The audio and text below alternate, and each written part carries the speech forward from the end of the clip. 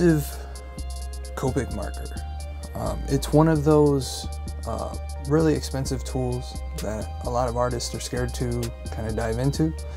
Um, and I can see why. It, it's uh, kind of hard to tell what color is what, um, especially with my issues seeing certain colors and the saturation in colors. Um, so I switched to Copic. I've been collecting these for about four years now, and I really enjoy them. Uh, one of the caveats being that they're really expensive. One marker now retails for $7.99. Um, so I wanted to show the different techniques and tools that I use to draw and color with these. Uh, and I say draw because there are some of them that you can draw with, uh, like the 100 and the 110 black and special black, respectively. Uh, those two I can actually sketch really quick with, and uh, I enjoy for uh, quick convention sketches. Um, but the most daunting part is the blending aspect. And what is blending? It's basically taking two different colors and making a new color out of it or smoothing out a color that you already have.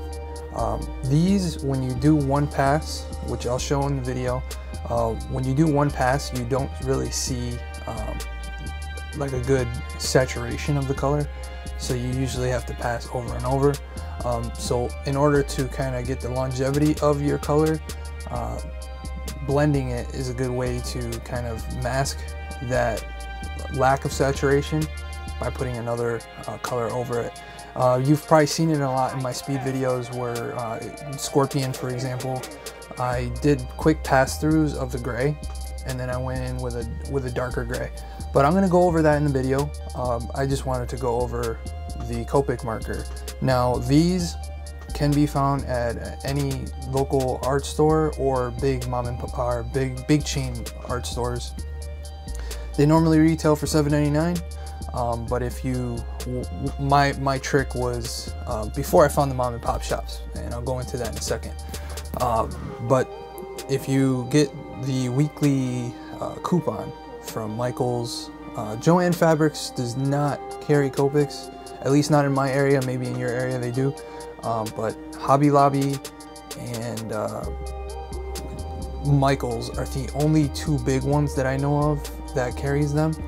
Uh, but they usually have circulars or on their website you can get a coupon. Um, and then you can get half price off the marker. Four bucks still seems like a lot for a marker, but these are refillable and interchangeable. So you can actually change the tip. let me see if it'll autofocus here. Come on. Uh, these these have changeable nibs, so you can change the brush tip or you can change the chisel tip. Now there's two different types of Copics. There's the Copic Sketch 2, which it has the sketch uh, portion, the sketch brush. Then you have the Copic, just Copic 2. It's not the sketch brand. These are different because it actually has the chisel tip, but then the other end is just a nib. So you can get more precise um, little areas with it. Uh, there's also the Ciao.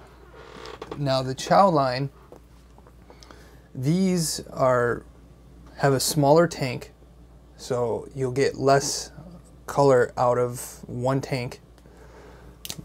But it is a lot like the Sketch 2s where there's a brush and a chisel tip. Uh, I personally like the Ciaos, how they feel in your hand. But as far as transportation, because I do a lot of conventions, I'd like to see the color that I'm dealing with before before I dig in.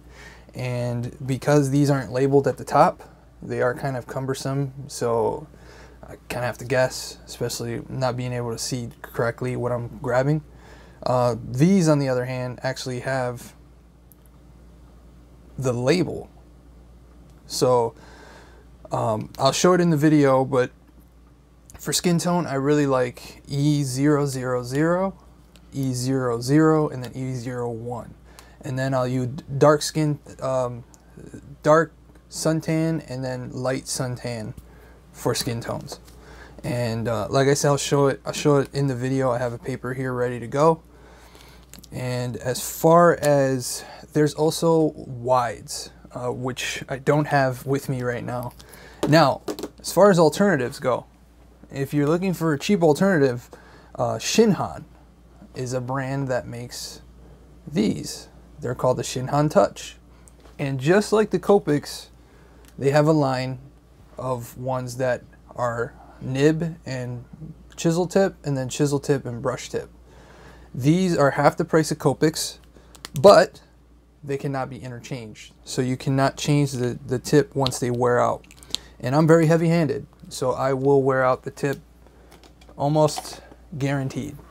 Uh, a couple of mine are already worn out completely. So um, as far as that goes, I'm going to go over some of the blending techniques and then later on in the video, I'll uh, give you some tips and tricks on how to save even more money with them. And um, even online, there's a couple websites that you can find. So let's get to it. All right, let's get started, shall we? Now I have the camera set up here. It is aiming right at the paper. I'm going to do my best so that you can still see the line work as I'm drawing and I don't kind of get in the way of the webcam here. Um, this is probably the, the smallest size I can make the webcam without kind of losing uh, so much of the canvas here. So I'm just going to draw a quick sketch here. Um, we'll draw Batman. And Batman's going to have quite a bit of different colors here, so it's going to be a very colorful Batman.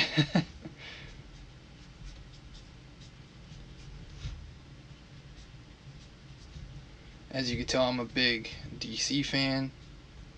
Uh, that's probably why I'm not really in a rush to see the Avengers Endgame.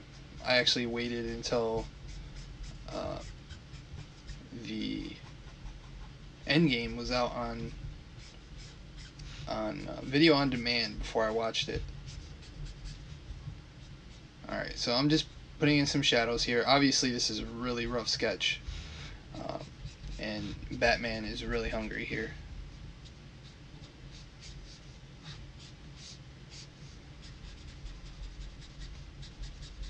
Alright, and just, just for the sake of the video, we're going to make Batman's torso here um, maybe a purple or a pink.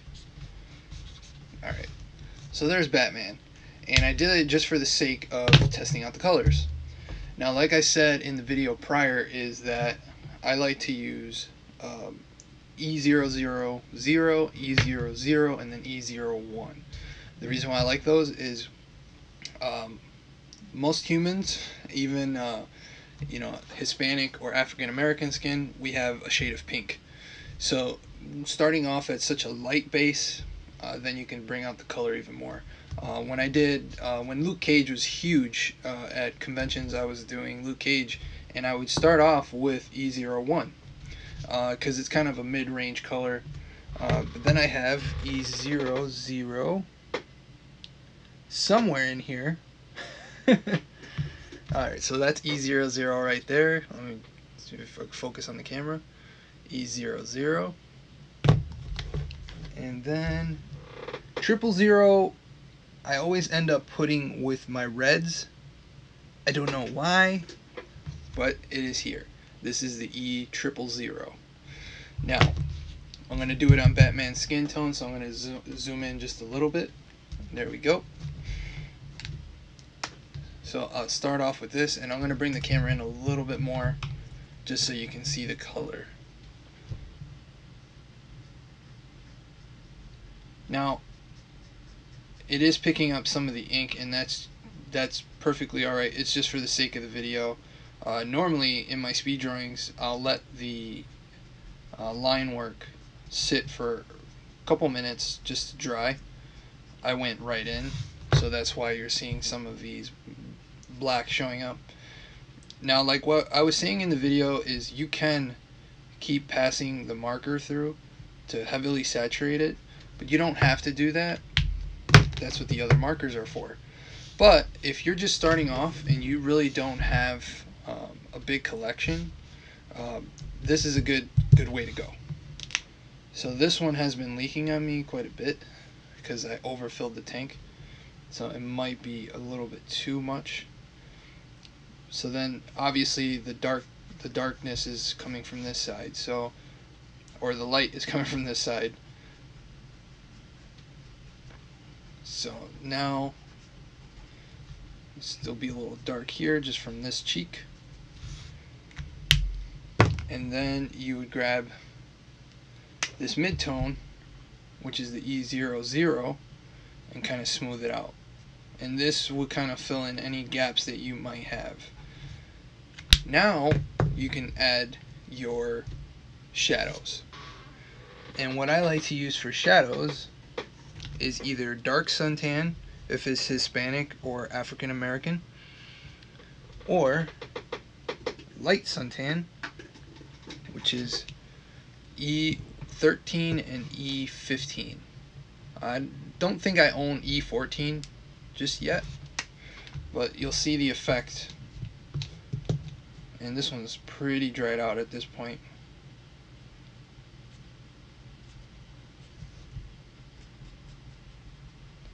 Can tell I use this one a lot. And if you want to get even darker, you can grab the dark suntan.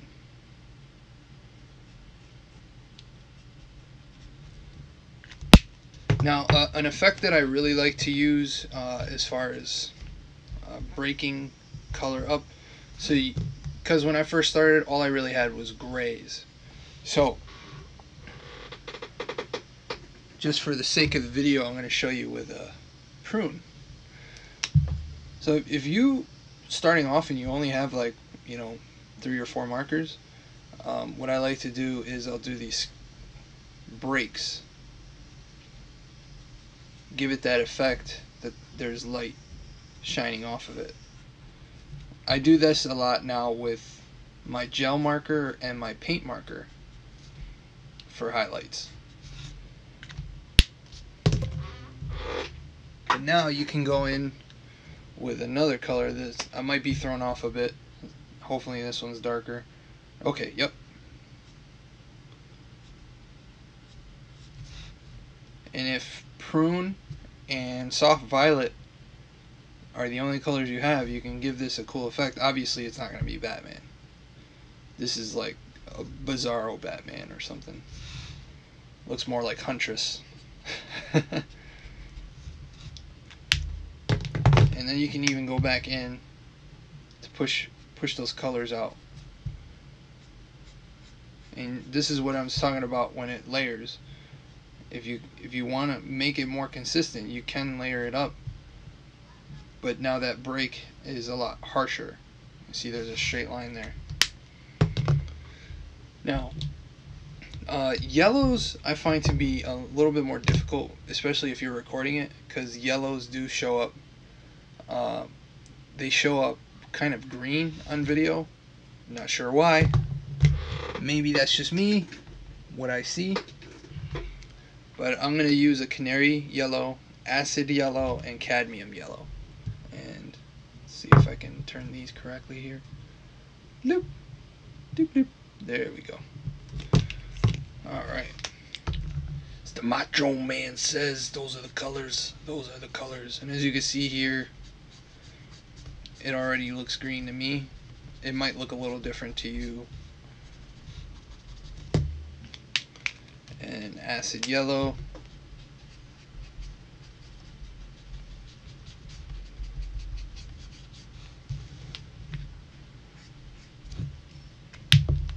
And we can push even that, that yellow out a little bit more because once you have those colors in now you're blending and then you grab this darker yellow.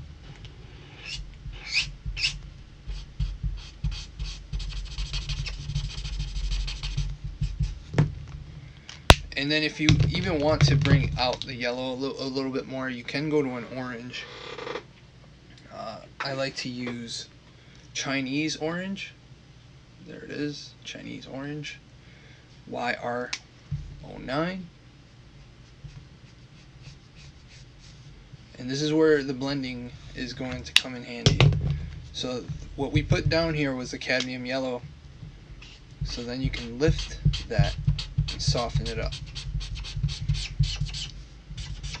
Now, let's say you only have blue and red, and you just don't have the money, or you just can't find a purple. So what you would do is we're going to grab red and blue. Uh, I'm going to use royal blue and R27 cadmium red R and B28. Now, if you can find it at um, Michaels, they do sell the premium or not premium, primary colors. they are premium markers though. So this is how we're gonna blend. So we're gonna take the blue. And you see how rich, rich that color is, and the red. This one's a little dried out. I do use my reds a lot. With Ninja Turtles, you kind of have to use a lot of red. Now watch what's going to happen when I when I go over the blue.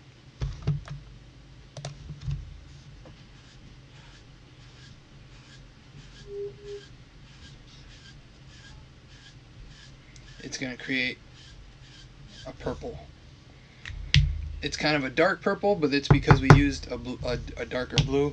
Now if we use a lighter blue, but still kept the red.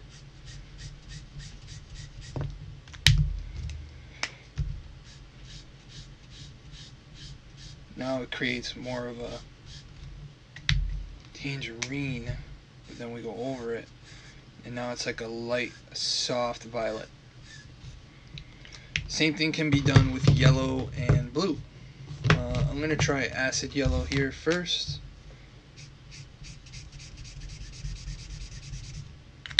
And then blue. And it automatically goes to green. So you have to have uh, an idea of primary colors and color theory before you blend. But this kind of teaches you in the meantime. So I, I really enjoy learning uh, color theory with all these. Now the other tip is I'm going to show you how to refill them. So obviously, my where did it go? There we go, red. So this is the one that I was a little low on. Now, I don't have my syringes, but the way that you would refill the marker, you see how it's dried up here on the tip, and it's almost, it is almost rock hard. Uh, and so there's still some juice in it, but you can see in the edges it's starting to fade a little. So what we do is that we would take this brush out. This is not the right way to take the brush. There is a uh, a clip they sell so you can actually clip the thicker part here. So it's it's hard here, but then there's a reservoir that locks into there.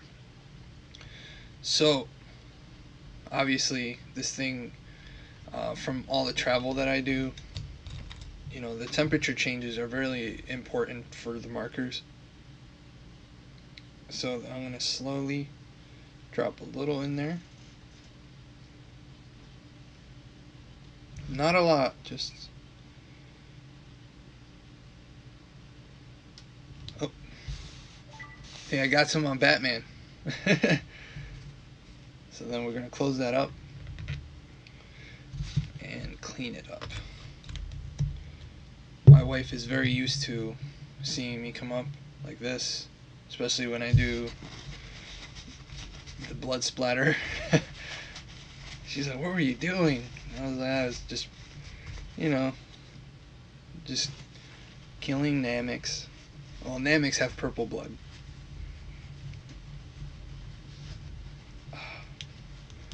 that thing was dirty. This is alcohol based, so it will dry out. If you don't close the cap on them, they will dry out.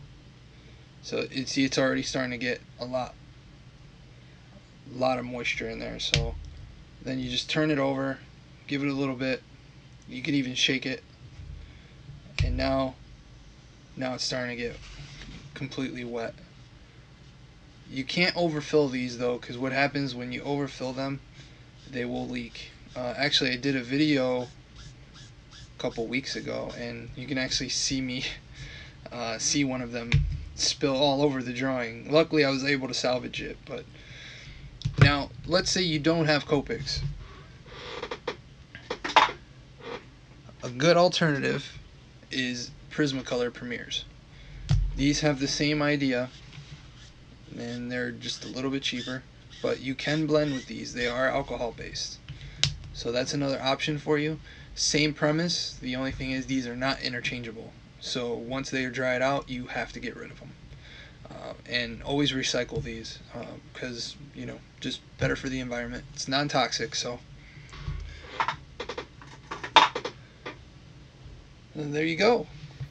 So I hope that video helped any of you guys out uh, that were looking to do uh, markers or get into markers uh, and Copics in general. Uh, this is just the basics. Um, if you see some of the videos, you can learn a little bit on there. Uh, but pretty much playing around with them, experimenting. I've had them for four years now and constantly getting new colors, so it's always something new that I got to learn.